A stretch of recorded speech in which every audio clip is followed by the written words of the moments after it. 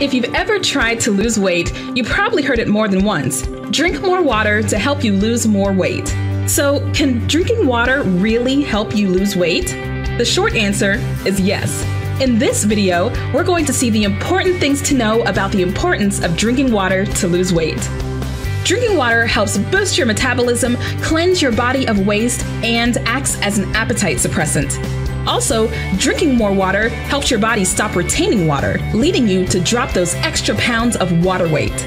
Water aids digestion and promotes the normal functioning of many body organs, including the liver. Lack of regular intake of water will slow digestion, decrease fat metabolism, and give you the feeling that you are bloated and tired. Drinking sufficient amounts of water increases the rate at which our liver burns off fat. If you drink inadequate quantities of water, your liver ends up working exhaustively, thus storing more fat as it becomes difficult to burn fat more effectively. If you want to lose weight, you should drink a minimum of 8 8 ounce glasses of water per day. However, to really get the process moving, drink half your body weight in ounces each day. So, if you weigh 180 pounds, you should drink about 90 ounces of water a day, roughly 11 glasses of water. Drinking ice cold water helps boost your metabolism because your body has to work harder to warm the water up, therefore, burning more calories and helping you to lose weight. Plus, ice cold water is so much more refreshing than water that's just room temperature.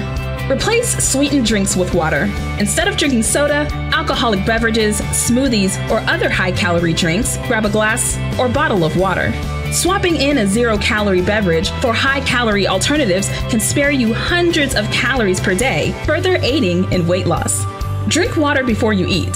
Drinking water before meals can make you feel more full and therefore reduce your food intake as it acts like an appetite suppressant. Health resource website WebMD states that drinking water before meals results in average reduction in intake of 75 calories per meal. Drinking water before just one meal per day would cause you to ingest 27,000 fewer calories per year. Do the math. You'd lose about 8 pounds per year just from drinking water. Now imagine if you drink it before each meal.